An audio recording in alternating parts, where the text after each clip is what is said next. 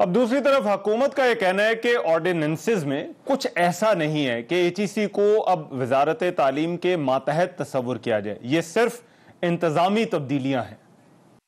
H का अदारा बहुत ही आम है क्योंकि ये अदारा मुल्क में यूनिवर्सिटीज़ और डिग्री देने वाले इदारों की इजाज़त, उनकी फंडिंग प्लानिंग डिग्रियों की तस्दीक और तस्लीम, जामियात की की पॉलिसी उनमें होने वाली रिसर्च और उसकी क्वालिटी और बहसीत मजमू आला तालीम के मैार को देखता है। दो हज़ार दो से कायम इस अदारे ने कई सियासी मदाखलतें और उतार चढ़ाव जो है वो देखें लेकिन अब इसकी सिमत क्या होनी चाहिए?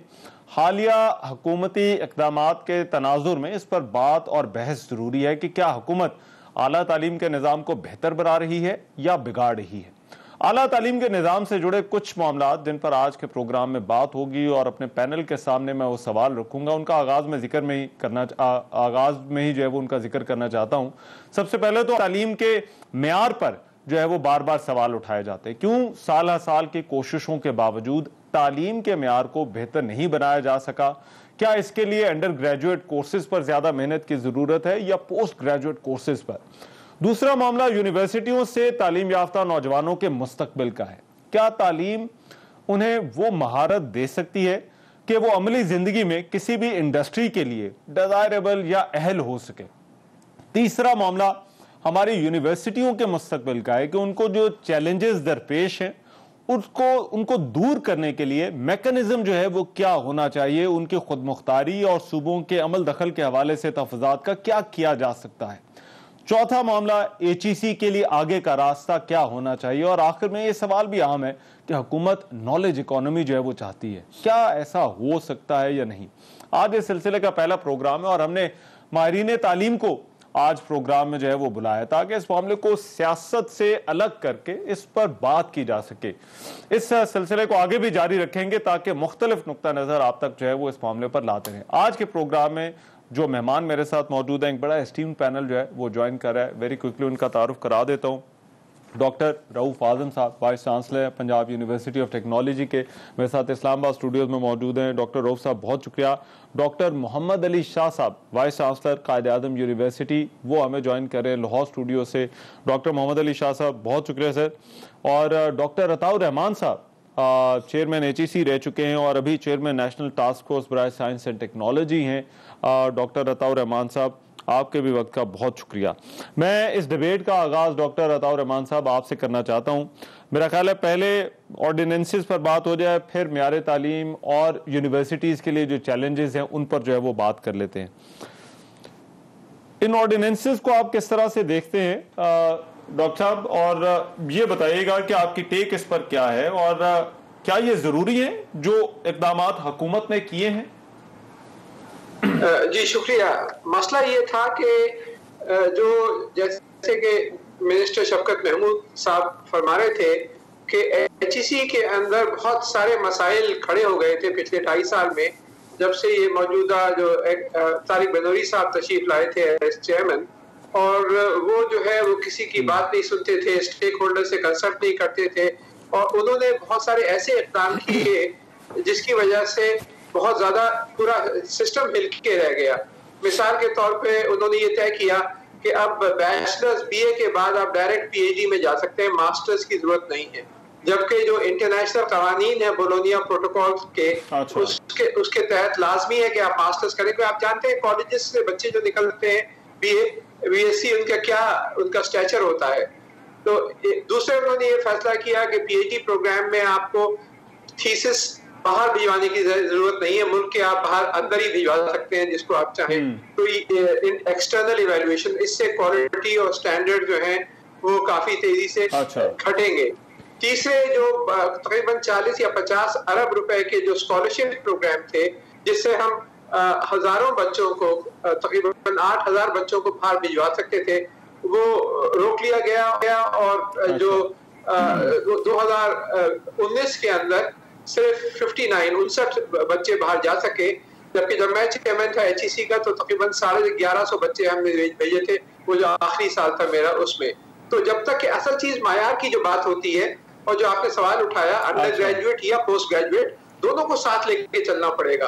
अंडर ग्रेजुएट जो है उसमें फाउंडेशन बनती है और पोस्ट ग्रेजुएट में फिर आप उसको उसके ऊपर बिल्ड करते हैं और रिसर्च करते हैं तो आइदर और का सवाल नहीं है। लेकिन इन्होंने ये किया कि इन्होंने पोस्ट ग्रेजुएट रिसर्च को क्योंकि पचास नई यूनिवर्सिटीज ऐड हो गई पिछले तीन साल में लेकिन उनके लिए फैकल्टी मुहैया नहीं करी जिसकी वजह से बहुत कोलैप्स हुआ तालीमी स्टैंडर्ड्स तो ये सब वजूहत थी जिसकी वजह से प्राइम मिनिस्टर को फिर एक्शन लेना पड़ा। और ये जो है कि उसको अच्छा। मिनिस्ट्री ऑफ़ एजुकेशन के तहत आ गया है ये बात सही नहीं है।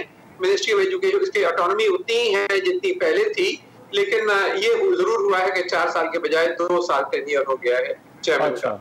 अच्छा डॉक्टर साहब मैंने डॉक्टर साहब जो क्योंकि अब वो खुद तो डॉक्टर तारिक मनोरी यहाँ पर नहीं लेकिन उन्होंने कुछ आर्टिकल्स भी लिखे हैं। उनका ये मानना है उनका ये मौकफ है कि उन्होंने जो इकदाम किए वो म्यार तालीम को बेहतर बनाने के लिए और पाकिस्तान में जो सबसे बड़ा मसला इस वक्त आला तालीम के निज़ाम को जो दरपेश है वो म्यार तालीम का है कि हमारे जो पी एच डीज हैं हमारे जो लोग ग्रेजुएट हो रहे हैं उनके उनकी क्वालिटी जो है वो क्या है? इस वजह से जो है वो उन्होंने वो ये इकदाम उठाए। ये बातें तो बहुत अच्छी हैं, लेकिन मेरे आपसे दो तीन सवाल हैं। क्या मैार तालीम मास्टर्स को गायब करके और डायरेक्टली पीए, बीए को पीएचडी कराने से या बीएससी को पीएचडी कराने से क्या मैार पैदा होता है? जवाब नहीं मैार गिरता है। क्या एक्सटर्नल इवेल्युएशन जो हम करते थे, सारे पीएचडी थीसिस की बैन अवी लेवल पे उसको खत्म करा के और आप अपने दोस्तों को थीसिस भिजवा दें लोकली इवेल्युएट करने के लिए क्या है वो मैार बेहतर होता है। अच्छा। जवाब है नहीं वो मैार एक्चुअली कोलैप्स होता है। क्या फैकल्टी आप डेवलप ना करें आठ हज़ार स्कॉलरशिप के ऊपर आप बैठे रहें और आप पचास नई यूनिवर्सिटीज कायम कर ले जिनके पास फैकल्टी ना हो। मैार आता कैसे है नापते कैसे है मैार मैार में सबसे अहम जो जो होता है वो फैकल्टी होती है क्वालिटी ऑफ़ फैकल्टी कि कहाँ उनकी ट्रेनिंग हुई है किस अच्छा। अंदाज से ट्रेनिंग हुई है और किस किस अंदाज से फिर वो पढ़ाते हैं रिसर्च अच्छा। करते हैं। मैार खाली इमारतों से नहीं बनता मैार बनता है अच्छी फैकल्टी से और फिर करिकुलम और एग्जामिनेशन सिस्टम सही हो ताकि बच्चों के अंदर समझ तो ये सिर्फ़ बातें तो बहुत अच्छी लगती हैं। हर एक कोई एग्री करेगा कि आप अंडर ग्रेजुएट एजुकेशन बेहतर करें और पोस्ट ग्रेजुएट लेकिन करेंगे किस तरह? so, वो जो है एक्चुअल जो उन्होंने एक्शन लिए वो उससे मैार बेहतर नहीं हुआ। बल्कि मैार काफ़ी गिरा है और इसमें बहुत सारे और भी मसाइल अच्छा। पैदा हुए। एक लंबी लिस्ट है जिसकी वजह से कंसल्टेंट्स अपॉइंट किए और अब नया प्रोसीडिंग भी शुरू हो गई। एक लंबी लिस्ट है उसमें मैं नहीं जाना चाहता लेकिन जो एक्चुअल फैक्ट्स हैं ऑन ग्राउंड कि उन्होंने स्टेक होल्डर से कंसल्ट नहीं किया डॉक्टर मोहम्मद अली शाह बैठे हुए इनसे पूछिए कि कितनी बार इनसे कंसल्टेशन अच्छा। हुई कौन सी बातें मांगी आप तो कमिट जो वाइस चांसलर कमेटी के चेयरमैन हैं और सारा फीडबैक सारी यूनिवर्सिटी से डॉक्टर मोहम्मद अली शाह को मिलता है। तो कोई कंसल्टेशन के लिए तैयार नहीं थे और अपने तौर पे वो अकदाम उठा रहे थे जिसकी वजह से प्राइम मिनिस्टर अच्छा। के पास एक अमार लग गया। अब अब मुख्तलिफ़ बहाने बना रहे हैं कि मुझे इसलिए अलग किया गया उसलिए अलग किया गया लेकिन वजह ये थी कि कोर प्रॉब्लम्स थे अच्छा। अच्छा मैं मोहम्मद अली शाह साहब एक तो ये जो ऑर्डिनेंसेस वाला मामला है क्या वाकई यूनिवर्सिटियों की खुद मुख्तारी पर इससे कोई फ़र्क पड़ेगा? और दूसरा ये क्या वजह है? कायद आज़म यूनिवर्सिटी भी बहुत बड़ी एक यूनिवर्सिटी है। हज़ारों की तादाद में तालब इम यहाँ से ग्रेजुएट होते हैं। हमारी यूनिवर्सिटियों में ये म्यार का मसला जो है वो क्यों है आ, पाकिस्तान की आला तालीम के अंदर? जी आप, आपका बहुत शुक्रिया। देखें बात ये है कि एवोल्यूशन तो एक कंटिन्यूस प्रोसेस है। अब आप ये देखें कि हम्म। इस वक्त भी दुनिया की रैंकिंग में हमारे जो जो हमें बजट मिलता है या डॉलर टू वैल्यू रेशो है वो अगर आप देखें तो कायद अजम यूनिवर्सिटी के तौर पे दो अरब चालीस करोड़ रुपए के बजट पे हम्म। है और उसमें तकरीबन पचास करोड़ का डिफिसिट है उसके बावजूद भी हम हज़ारों के हिसाब से पब्लिकेशंस हैं पेटेंट्स आ रहे हैं। आप आप, आप दुनिया में कहीं देखें तो आपको कायदीन नज़र आते हैं। सिविल सर्विस में हमारे अच्छा। जो कायद अजम यूनिवर्सिटी का प्रोडक्ट है ये डॉक्टर रऊफ़ आज़म आपके सामने बैठे हैं ये कायदीन है। लेकिन बात यह है कि मैं आपकी इस बात से को, को एग्री करता हूँ कि ये मैार को बढ़ाना ये एक कंटिन्यूस एवोल्यूशनरी प्रोसेस है। इसके ऊपर हमें मुशावरत करते रहना चाहिए और दुनिया के साथ साथ जैसे आईटी है जैसे डेटा साइंस है जैसे मशीन लर्निंग है ये अब सबसे ज़्यादा आजकल के ज़माने में जो इन्फेक्शियस डिज़ीज़ के ऊपर ये एक नया पूरी दुनिया को उसने अपने लपेट में ले लिया है। तो आप देखें ना ये जो कोविड का इशू है ये एक नया इशू इमर्ज हुआ है। तो हाँ। ये ये जो हमारी जो कंटिन्यूस एवोल्यूशन और इसमें मैार को बढ़ाना बहुत ज़रूरी है।